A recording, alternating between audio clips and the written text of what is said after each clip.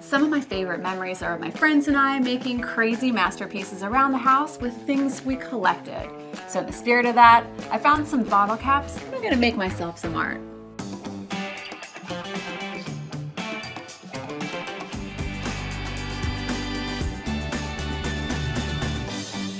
So I called up my friend Erin to see if she might be interested in a little project. You only had to say the words bottle cap art and I came running. Well, Superstar, today we're making a two foot by four foot sign that says lake because, hey, who doesn't love drinking soda by the lake when it's warm outside? To make this particular bottle cap piece of art, you'll need approximately 200 bottle caps, a two foot by four foot piece of MDF, that means medium density fiberboard, some paint, a paint roller, a paintbrush, a hot melt glue gun, a pencil, and some really pretty scissors. And some letters that we had blown up at the local copy store. So first, the stencil. it's pretty fun, right?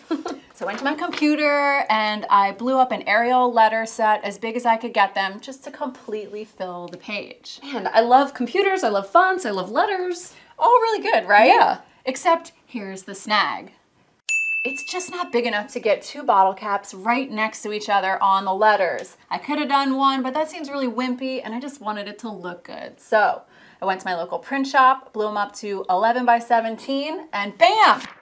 Snag addressed.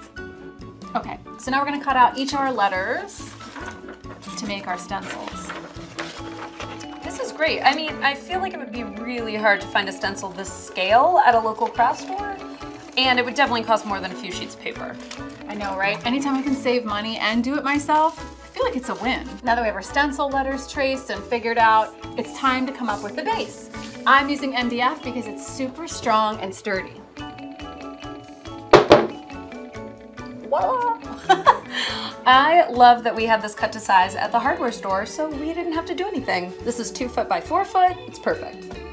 So in order for all those pretty vintage bottle caps to look good, they need a contrast color behind them that's really gonna make them pop. So I picked a nice dusty blue. Do you trust me? Completely. Before you move on to the letters, allow your paint to dry all the way. Don't get impatient. It's got to be all the way dry. Now that the paint is nice and dry, let's lay out our letters. Make sure you're happy with where they're placed, and then all you have to do is just trace the letters. Now use a paintbrush and just carefully paint your letters with your contrasting paint color. Here we're using white. With a project like this, it really helps to make a plan. Lay out your bottle caps and make sure you like how they look. Then you can organize the fun colors and the cool ones too. Whenever I see a hot melt glue gun, I feel that way. We have a lot to do now that we laid them all out and we like where all the special ones are. It's just a serious glue game.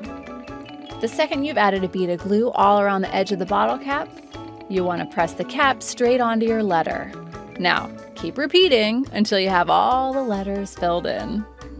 This looks so good. I love the scale of this project and how easy it is. Also, I feel like somebody drank a lot of soda to get ready for this project cherry sodas.